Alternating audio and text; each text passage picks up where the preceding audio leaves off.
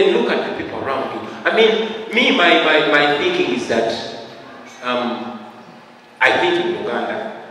And when I'm thinking, for example, here, I look at people and say, okay, but no one but innocent. I mean, each of you here has money in their pocket. But how do I get that money? This is some of it. You eat. If you don't eat, you drink. If you don't drink, you dress. If you don't dress, at least you go for fun. After selling just my music, I mean, along the way, and what I learned, because um, what I didn't tell you is that back in the bricks uh, time, me, there was always a cappella out there. My guys, so even the, the boss bosses who are building, who would come to the Chirome to buy bricks, it would be much easier for me to catch their attention. When we're in Nakasero, selling Senene, and I have too much competition, me. Ah,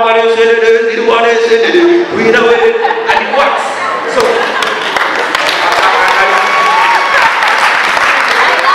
you guys don't use it against me later. so, I realized my potential. I realized what I have and how I can possibly marry it. And that's how I've grown